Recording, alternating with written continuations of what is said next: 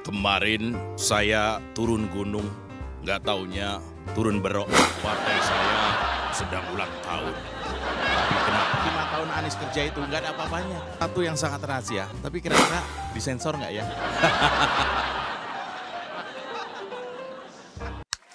Oke, thank you. Biar kayak rocker. ya karena banyak penyanyi, banyak artis masuk dunia politik ya. Oleh karena itu kita punya kewajiban untuk membantu sedikit pelajaran tentang sejarah politik, terutama soal Anies. ya, kata Nasdem, kalau Anies jadi presiden itu katanya bakal melanjutkan, bakal meneruskan kerjanya Pak Jokowi. Dan gua tahu itu bullshit. Kenapa begitu? Ya, kita tahu di awal-awal Nasdem itu mencalonkan Anies, di awal-awal Nasdem itu uh, deklarasi Anies, itu nggak sedikit yang mengingatkan kepada Nasdem. Waktu masih banyak yang sayang ke Nasdem ya. banyak yang mengingatkan begini kira-kira. Pak Surya Paloh, yakin loh dukung Anies. Lu nggak tahu Anies itu gimana cara kerjanya. Ada juga yang misalnya menasihati begini, Pak Surya Paloh ini sekedar ngingatin ya karena saya masih respect ke Partai Nasdem gitu kira-kira ya. Ini yakin nih Nasdem mendukung atau mendorong atau mencalonkan atau mengkandidatkan uh, seorang figur yang kerjanya aja belum jelas. Itu dulu.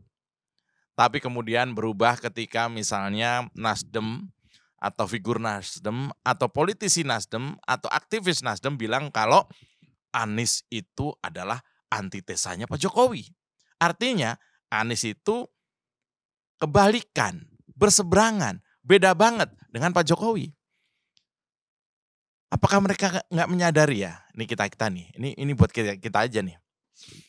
Anies itu doyan janji manis. Lalu kalau ketemu dengan partai yang juga doyan janji manis, kalau dua para pejanji manis ini digabung, jadinya kan sontoloyo ini. Misalnya Anies berjanji akan mengatasi banjir di DKI. Ternyata enggak. Anies berjanji bahwa dia akan melakukan apa yang disebut sebagai modalin uh, pengusaha, modali orang-orang yang nggak punya kerjaan. Ternyata enggak, janjinya manis-manis. Anies juga berjanji akan memberikan 200 atau membangun 200 ribu, 250 ribu hunian tanpa DP. Ternyata juga itu cuma janji. Anies ahlinya kalau janji manis. Bayangkan Anies yang doyan janji tadi kemudian didukung oleh partai yang juga doyan eh, doyan janji seperti partai Partai Nasdem. Partai Nasdem dulu janjinya adalah meng, akan mendorong apa yang disebut sebagai restorasi. Saya nggak tahu restorasi itu seperti apa. Kalau pada ujungnya pada saat detik-detik akhir justru Nasdem mendukung orang atau figur yang diidentikan dengan bapak politik identitas. Saya nggak tahu. Dulu saya sempat salah satu orang yang kagum dengan Partai Nasdem. Tapi dengan dia mendukung Anies, mau gak mau. Kita berubah sikapnya. Apakah ini juga artinya Partai Nasdem ini hanya hanya jago janji saja? Nah, kalau yang jago janji ketemu didukung oleh partai yang jago janji. Lalu apa yang terjadi? Ya itu tadi saya sampaikan. Jadinya kan Sontoloyo ini. ya. Kemudian juga ketika Anies yang doyan janji ini digabung misalnya dengan partai yang sebut saja oportunis karena sepertinya dia seolah-olah tidak mau lagi dekat dengan Pak Jokowi sampai kemarin kemudian harus mengumpulkan kader-kadernya Pak Surya Paloh ya. Sosdara katanya gitu. Mulai hari ini kita akan uh, menentukan sikap kembali bahwa kita akan mendukung Pak Jokowi hingga akhir periode. Itu kata Pak Surya Paloh. Emang tadinya enggak ya Pak? Tadinya nggak dukung gitu ya. Jadi ketahuan kan. Nah, kalau si Anies yang doyan janji tadi kemudian bergabung dengan partai yang sebut saja kemudian terlihat seperti oportunis, jadinya suara partainya kan jadi tambah ngedrop. Nah, selain itu, orang juga sudah tahu Anies ini jago banget kalau soal ngomong. Jago banget kalau soal berkata-kata. Jago banget kalau soal olah kata. Jago banget kalau soal wacana. Nah, Anies yang doyan ngomong doang itu kemudian bergabung dengan partai yang doyan gonta-ganti haluan tadi, maka bisa disebut pasangan ini antara Anies dan partai yang mendukung ini seperti pasangan tanpa arah. Sekarang sudah kelihatan tanpa arahnya. Bingung, Nasdem ini seolah-olah sudah kadung dukung Anies, kemudian sekarang bingung mencari escape plan-nya bagaimana. Mau membeloknya bagaimana, mau nggak jadinya gimana. Malu juga karena sudah deklarasi. Sekarang jadi kehilangan arah kemarin bilangnya antitesa Pak Jokowi, lalu kemudian kata Pak Surya Paloh sekarang mendukung Pak Jokowi hingga akhir jabatan dan kemudian ketika dia bilang antitesa sekarang juga ada statement bahwa Anies akan meneruskan, akan melanjutkan apa yang dibangun oleh Pak Jokowi. Ini sih namanya bokis. Nggak mungkin. Anies yang doyan bohong digabung dengan partai yang doyan ngancem, yang katanya kalau sampai di reshuffle, nih Gus Coy yang ngomong, kalau sampai Nasdem di reshuffle, kita akan beraksi. Ini artinya ngancem.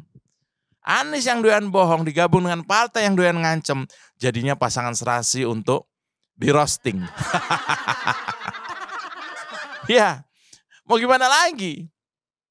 Hari ini Nasdem juga yang ngomong bahwa Anies mau melanjutkan kerja Pak Jokowo. Eh Pak Jokowo, Pak Joko Widodo. Ini Nasdem udah koordinasi belum sama misalnya EF Saifullah Fatah? Eh bukan ya, sama Anies maksudnya. Jangan-jangan EF lagi nih di belakang uh, tim sesnya Nasdem dan Anies ini. Apa benar Anies bisa melanjutkan apa yang sudah dimulai oleh Pak Jokowi 8-9 tahun terakhir ini? Enggak mungkin lah. Karena boro-boro melanjutkan kerja Pak Jokowi di level nasional. Ini yang di Jakarta aja, Anies itu babak belur sebenarnya. Coba buzzernya, buzzer-buzzer balai kota itu berani nggak mengungkap ke babak beluran jo, uh, apa yang sudah dilakukan Pak Jokowi ternyata nggak dilakukan oleh Anies berani nggak? Jelas nggak berani. Kan masalah Jakarta tuh simpel ya. Ada banjir, ada macet, ada kemiskinan misalnya. Tiga hal itu saja kalau bisa Jangankan lima tahun, enam tahun, tujuh tahun itu sepuluh, dua puluh periode kita suruh Anies jadi gubernur. Tapi kan nggak kejadian. Nggak ada yang beres. Banjir tetap banjir, macet apalagi, kemiskinan nggak disentuh. Nggak ada yang ban eh, nggak ada yang beres. Khususnya soal banjir. Soal banjir, Anies itu nggak ada ilmunya, nggak ngerti. Padahal kan gampang ya. Pak Jokowi dan uh, Pak Ahok juga Pak Jarot itu udah udah mikirin kali udah banyak juga uang dikeluarkan untuk mikirin solusi banjir di Jakarta salah satunya adalah dengan sodetan kali Ciliwung. Sodetan. Tahu sodetan nggak? Sodetan begini. Ini ada kali gede banget nih lewat Jakarta nih. Kalinya gede banget. Kalau lagi hujan, ini debit airnya tuh tinggi. Dan ini mengakibatkan Jakarta banjir. Solusinya adalah dengan mengadakan sodetan. Sodetan itu bukan sedotan. Sodetan itu dibolongin kalinya, airnya dialirkan melewati jarak tertentu sampai kemudian masuk ke banjir kanal timur. Itu kayak semacam dam, danau atau tempat penampungan air. Jadi kalau airnya banjir di Ciliwung, airnya nggak tumpah ke Jakarta tapi ngalir ke lewat sodetan tadi tuh. Lewat sodetan tadi yang panjangnya sekitar 1200 meter ya, satu kilo lebih, lalu masuk ke banjir kanal timur. Itu tuh itu tuh nggak perlu orang harus kuliah S3, S2 enggak lah. Orang yang ngerti aja cara mensolusi sebuah banjir, itu harusnya ini dikerjain.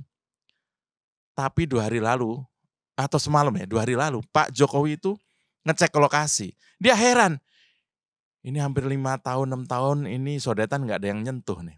Artinya selama berkuasa Anies, nggak pernah nyentuh itu sodetan yang sudah tinggal melanjutkan saja. Memang ada PR misalnya pembebasannya belum sempurna waktu Pak Ahok turun. Itu nggak diterusin lagi sama Anies. Disentuh aja enggak. Ini dikasih solusi jangka panjang yang kalau misalnya itu dikerjakan, Anies nggak bakal dibully dengan sumur resapan itu. Selama Anies menjabat, sodetan itu nggak disentuh nggak diteruskan. Apakah karena itu proyek jangka panjang dan nggak ada cuan? Bisa jadi begitu. Udah nggak ada cuannya, udah nggak ngasilin apa-apa, buat apa diterusin? Bisa jadi seperti itu pertimbangannya. Ya, kalau saya sih melihatnya ya, Anies ini memang ya sekali lagi tidak punya kemampuan, apalagi teknis ya, kemampuan manajerial. Itu aja enggak. Jangan-jangan sodetan itu tidak dikerjakan karena Anies sibuk melakukan sodetan yang lain. Sodetan anggaran misalnya. Bisa jadi ya. Mungkin dia juga nggak punya rasa malu. Sampai kita harus menunggu ada pejabat pengganti Anies. Kemudian baru kita tahu bahwa Jakarta itu sekarang diurusin. Sekarang ada browsing di Youtube. Kata kuncinya normalisasi sungai Heru Budi. Coba kata kuncinya itu, Anda akan kaget. Hanya dalam waktu 4 bulan atau 100 hari lebih, Jakarta sekarang kelihatan terurus. Sungai yang hitam pekat, bau sekarang sudah mendingan. Bening, sudah ada pendalaman di keruk. Jadi anggaran keruk memang buat ngeruk. Bukan anggaran keruk dibuat nutup sesuatu. sekarang sungai jadi cantik. Pak Jokowi itu pernah ya kalau nggak salah ke Korea atau entah ke mana ya bersama Bu Iriana belum dulu itu. Kemudian di Korea itu Pak Jokowi mengagumi sebuah sungai di sana yang perlu waktu juga kurang lebih dua tahun untuk membuatnya jadi jernih. Saya pikir ya sekarang Pak Jokowi itu minta ke Pak Heru Budi juga melakukan hal yang sama. Kemarin soalnya udah dipuji Pak Heru Budi itu. Saya nggak tahu kata Pak Jokowi ini. Gimana caranya Pak Budi ini kerja? Kok tahu-tahu sekarang Ciliwung udah uh, sodetan Ciliwung ini sudah mau selesai. Dan tanah yang susah dibebaskan kemarin itu ternyata juga sudah bisa dibebaskan dan dengan damai dan sekarang proyek sebentar lagi selesai. Saya nggak tahu bagaimana Pak Budi cara melakukannya. Nah, ini tuh sebenarnya pujian, ini satir nih kalau lu nonton. Pak Jokowi, Pak Presiden itu memuji pejabat pengganti Anies. Kok bisa ya sama dia selesai ini sodetan. Kemarin ke mana aja yang katanya pintar itu. Kira-kira begitulah.